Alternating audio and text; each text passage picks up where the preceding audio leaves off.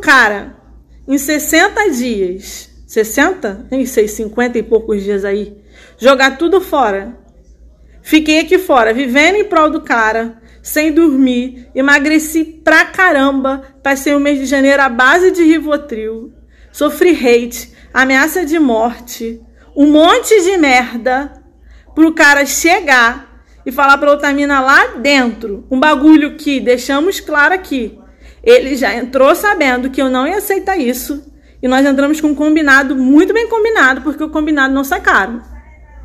Para ele jogar tudo no lixo, Continuando. Então, gente, eu sou uma pessoa super low profile. E as redes sempre foram fechadas. Sempre fiquei na minha. Só que eu não consegui ficar na minha vendo a repercussão que isso tomou. Eu sou professora de meninas, adolescentes, que arrumam o primeiro namoradinho e se submete a tudo por amor. Gente, que que é isso? Claro que não. Eu fiquei pensando no exemplo aqui que eu, Camila, estaria dando para as minhas alunas lá, que eu fiquei anos e anos e anos conversando com elas sobre não se sujeitarem, não aceitarem essas coisas.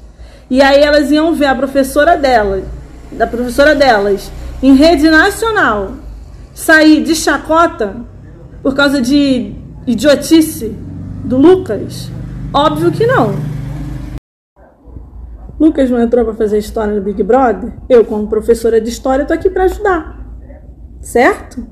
Então, quando chegar o momento que uma hora vai chegar, conto com a ajuda de vocês, para o Lucas ficar registrado na história do programa para sempre.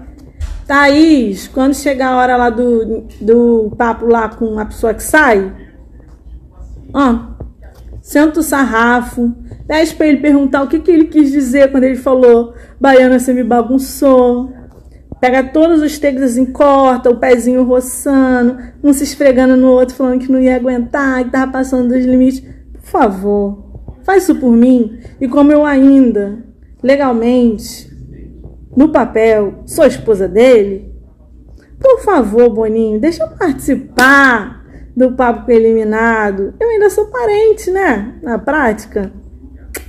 Conto com vocês.